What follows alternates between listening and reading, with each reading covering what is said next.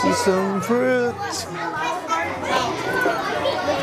I feel very honored to be nominated, and, uh, and I really appreciate all the, I mean, who nominate me and, and all the support, the, the votes that I got to, to be here. To me, that's an honor. I'm a head custodian here in Metolius, and so I pretty much in charge to keep this building running. The last three or four years, I've been like permanent driver. I mean, in the afternoons, every day.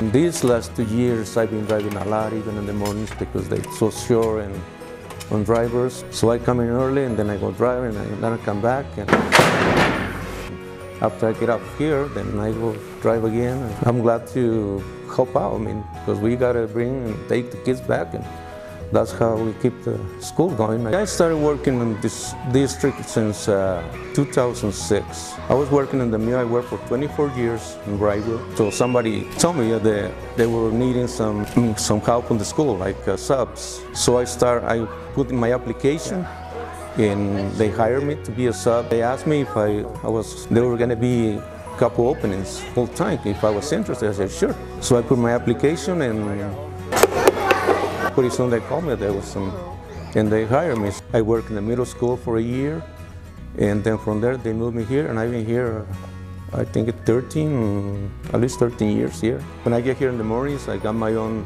areas to clean, to, before they get here, the students get here, get set up for breakfast, and after breakfast, I had to clean up, and in between there, and I got other things, whatever comes up. And then the lunches and after lunches clean up. And like I said, yes, sure.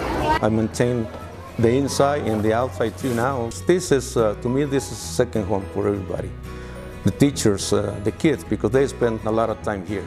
Besides their home, this is the second place they spend most of their time. I think it's nice to, they can come to a place that they can be appreciated, they feel comfortable because it's uh, nice and, and clean. I like here because uh, this place is smaller.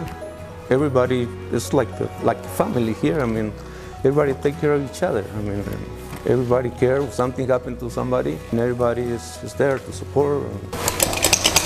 I like to thank my family, my wife, my kids, for supporting me for all this time.